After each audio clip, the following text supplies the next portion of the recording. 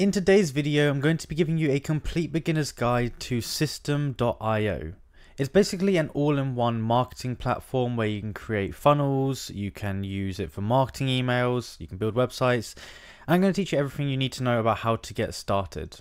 Now, if you want to go ahead and start using it, there's going to be a link down below. If you click that link, it's going to give you the best pricing and it's also going to give you a free trial. So go ahead and click the link down below and it'll take you to this page here. So just put your email in and you're going to go ahead and get a free account. Once you've signed up, the dashboard will look something like this. And I'm going to show you what to do from here. Now, first things first, we have our dashboard. We have our main dashboard, affiliate dashboard here. So this is for any people that you refer over. We have our student dashboard. So this is for um, different courses and stuff. Uh, where you can basically go through there and they'll have a lot of courses on how to do different things. And over here we have our marketplace. So our marketplace here is different things um, that people are offering. So different courses, stuff like that. Now, after that, we're going to go over here to the contact section. And in the contact section, this is all of our contacts that we have from our funnels and that kind of thing. So we can either create a contact manually or we can get them to sign up here for a funnel. If we press contact here, it just asks for stuff like their first name, their email, um, just stuff like that. And you can even add a custom tag here. You can put the name and you can put the unique key in here. Uh, and this is just basically where you keep your customers all organized. Now we also have the tags bit here so you can create some tags so you can uh, sort your customers. Now the bit everyone's looking for is going to start off with the funnels. So I'm going to show you how to create a funnel now. So first of all, we want to go ahead and click on the create button and then it's going to ask us for the name of the funnel. I'm just going to type in funnel one and we're going to, it's going to ask the goal of the funnel. So we can either build an audience. So that is going to be things like collecting an email address or we have sell a product or service. There's the custom option where you can create from scratch or there is the webinar funnel. Now I'm going to start off with the build an audience one um, and I might look at this one later. And then it's going to ask us for the domain. The domain will basically be, um, you can put anything in there, but it's going to be a .systeme.io one here. And uh, we can change this, and I'll show you how to do this in a bit. We can change this to a custom domain. So we're going to go down here to currency and put the currency in that you want. I'm just going to leave it as euro for me. And you see the funnel has been created. So we can go ahead and we can click into it here and you've got a few options. View, duplicate, share, deactivate, settings and delete. But we can click on it here and we're going to go ahead and actually be in the uh, funnel builder itself. So first of all, we have this thing called a squeeze page, and this is going to be getting people interested in what you've got. Now, first things first, we can start off with selecting a template here. And I'm just going to start with this one here. I'm going to click select template. So it's going to ask us for the name of it. I'm just going to leave it a squeeze page. Um, the path is going to be here. You can change the path URL here. And then we can go over here to edit page. So this is going to be the page editor um, itself. And what we can do here is we can go ahead and uh, edit all the stuff in here very easily. So there will be some stuff in here already, text, images, that kind of thing. We can just click on any of the boxes here. And we go ahead and change all the settings on the left. So we've got the font size, the line height, uh, the font type, we've got the colors, the padding, margin, all of that kind of stuff here. We also have other things like our um, headlines, our text, and then we have our input form here. Uh, again, it has all the sort of same features. We have some buttons here, um, and then it has some settings, you know, what you want to do when the button's clicked, all that kind of stuff. But they kind of designed this app to be very, very simple to use, so we can just click on a button there and uh, see how it all works. We've also got uh, some padding there, all that kind of stuff. Now, we also have these things called elements, and the elements we can just simply drag in. And these are elements themselves, but we can add in new ones. So we can add text ones, we can add media ones, we can add layouts, forms, socials, and other. So I could go ahead here, I could click and I could drag in an image. It's going to leave that as the template, and then I can click on here and I can add an image. And I've just gone ahead and uploaded this image here and you can see the images now here looking good. All these little boxes where they have this little image placeholder, you're going to want to click on it and change the image. Um, you've got a load of other information here that you can go ahead and edit. Now they also have this section called blocks and essentially a block is things like your well, th these are pre-made blocks essentially, but then you've got your opt-in forms here, so you can just click and we can just drag this in here, and that will go there. But they have opt-in, uh, they have blocks for lots of things, so like features, uh, footers, presentations of team, welcome, pricing plans. So these are basically just helpful, meaning you don't have to design it all from scratch. You can just find one that you like, drag it in, and you can see it looks good, ready to go, just like that. So once you're happy with that, we can go ahead and press the Save Changes button. And it should take a second and it should be ready to go. We can press this button here which says Preview. And this will allow us to preview what the funnel is looking like right now. And you can see that this actually looks pretty good. Uh, it looks a lot different than on here. And that's because uh, a lot of these images and stuff haven't loaded in. We've also got this thing called pop-up. So we can add a pop-up here. We might want to add a um, sign up form pop-up.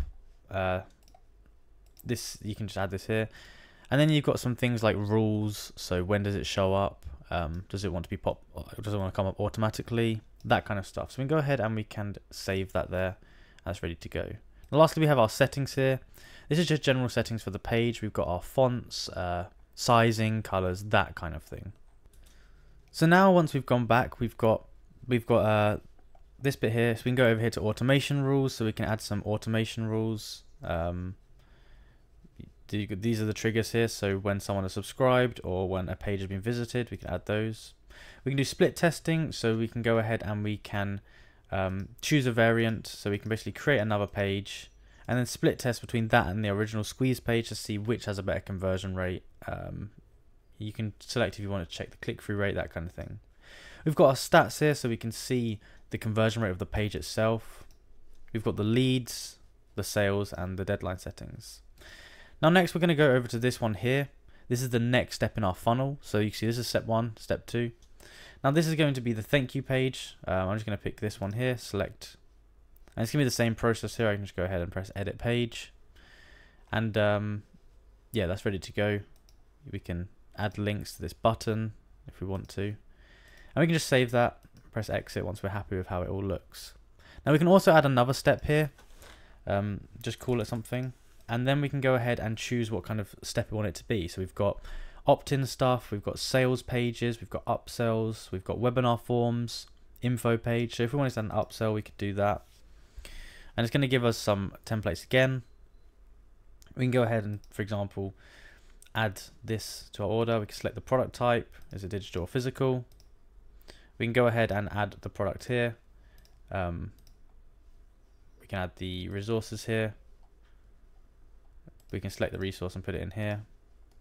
And we can even add pricing plans as well, but I'll show you a bit more about pricing in a minute. But again, this upsell here is just going to be simple to edit. Uh, this is going to be, uh, would you like to add this extra product to your order? Um, so pretty simple to actually set up there. Again, at the top, we just have the funnel settings, um, just some simple settings here, and we have marketplace offer. So we can go ahead and uh, put that in here like that. Now next up on the list we have the emails section. So we have newsletters, campaigns and statistics. So a newsletter, I'm going to press create here and we can basically create a one-time newsletter. I'll just put a subject line in here. Uh, welcome. I put a sender name. And then we've got visual editor or classic editor. I would recommend going for the visual one. It's going to be easier to use. So just select a template, press save, and we should be good, ready to go. Now, They've just given me an error here. To send emails from this email, you need to authenticate this domain. So to go ahead and do that, we're going to be going over to our settings. Once we're inside settings, we want to go over to the emails section here. And we want to go ahead and we're going to add our email in here. So click here to confirm your email address. Put the email address in. And now it should send you some information to your email so you can go ahead and verify it. Now while we're here, I'll also show you about domain names. So um, we can add a domain in here if we want to. Uh, or we can go over to the domain section, which is in here somewhere. Custom domains there. And we go ahead and we can just press add domain here. We can put in our domain um, in here. And then it's basically going to get us to go ahead and um, sort of set it all up, authorize the DNS settings, you know, sort all that stuff out.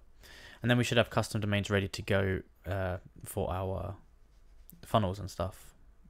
Inside of the emails bit though, we can do the newsletters, we can do the campaigns. And then we have our statistics here. So we have things like the number of emails sent, the percent of people who have opened it, um, spam, bounce rate, all of that kind of stuff. Just the general sort of details that you have inside of here. Next up, we're going to have our blogs. So we can actually use this to create blog posts, which is really useful, especially for SEO and that kind of thing. So we can just put a title in there, anything, and then we can go ahead and press save. And this is going to open up the um, blog section. So we can go onto our blog here, click on it, and now we can actually look at what's inside our blog. So we have our blog posts here, first of all. We have things like top places in China. This is a blog post that's pre-written by them. Um, we can go in and edit this just by clicking on it. And the editor is the same as the uh, funnel editor. Very similar. Just you know, you can just click on all the different bits of text. Um, you can just yeah edit it very simply. And when we're ready, we can go ahead and save it. And we can go back here just like that. Now we can create one from fresh over here and uh, we can select the categories, that kind of thing. We've got our pages here, so this is going to be the pages on our blog and then the categories are going to be here. Now we have our blog layout here, so um, we can basically create custom blog layouts for this. Um, just so it's sort of a default template that it has it every time.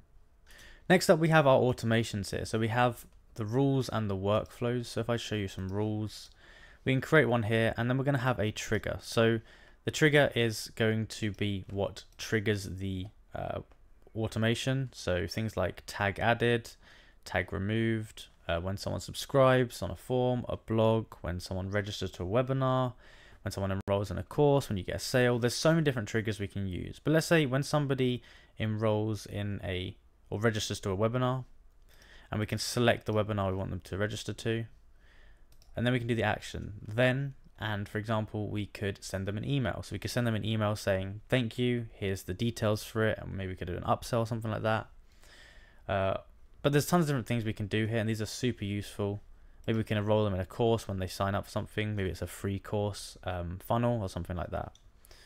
We've also got the workflows here which basically work in the same way. Um, we've got the trigger, so we can add a trigger here. We've got action, decision or delay. We'll start with an action. So let's say something's happened here.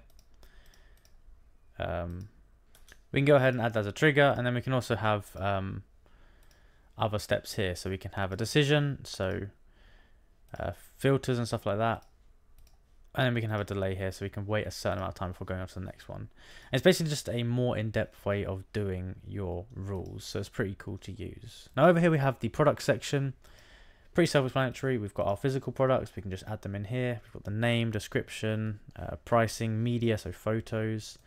We have our orders over here. We have our coupons, so we can create coupon codes. We have our courses, so we can actually create courses within here as well, pretty cool. And we have our community as well, which is pretty cool. Next up, we have our transactions. So we've got stuff like, this will be our transactions for every single purchase that we've had on our store. We've got our subscriptions. It will show us our monthly revenue, that kind of thing. We have our affiliate invoices. And then we have my affiliate program as well.